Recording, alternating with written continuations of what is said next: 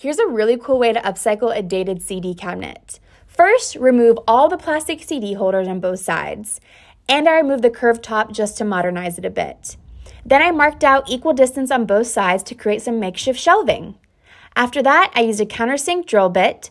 This allows you to drill holes so when you use your screws, the head will sink in a bit and not stick out on the sides. I filled all my holes with wood filler, sanded down, and then prime the whole piece with some Dixie Belle Boss. I love this primer. Then I used Dixie Belle Anchor from the Silk range as my color and screwed in some wine glass holder in the top, and this is the final look. What do you think of this upcycle on a dated piece? I love it.